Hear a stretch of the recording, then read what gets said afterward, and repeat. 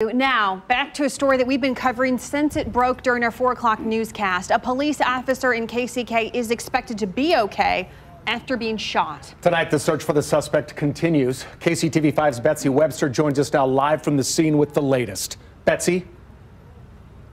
Well, Brad, uh, we're seeing something new here with some light shed on it. Behind me, you can see what appears to be the police officer's car, the Kansas City, Kansas officer's car, and those orange cones there. Typically, those mark evidence. Typically, that means shell casings. Now, News Since 6, we have learned that the police officer actually exchanged fire with the man who shot him.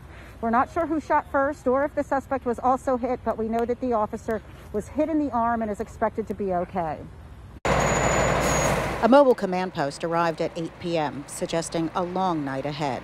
To have something like this happen is just, it's crazy. Neighbors were stunned and upset. My neighbors have told me there was three gunshots that they heard. We don't hear too many gunshots around here. The shooting happened just after 4 p.m., just a few yards across KCK city limits in Overland Park. The suspect took off after shooting the officer in the Turner neighborhood and ditched his car three miles away in the Argentine neighborhood. KCK police say they were after the man because they'd received reports of multiple hit and runs in Wyandotte County earlier today. That suspect's uh, description was given out to our officers, obviously. The officer involved in this incident was uh, out on patrol and obviously identified the suspect's vehicle. He pursued the car until it crossed the county line, then stopped. But it was a dead end. Police say the man got out, exchanged gunfire with the officer, then took off.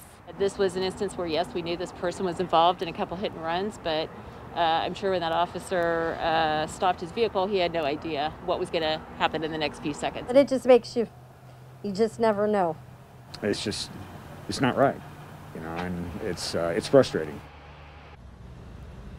Now, police do not yet have a description of the man to share with us. We did check the tags on the car where it was abandoned, and they are temp tags or temporary tags, which are harder to trace than the regular ones.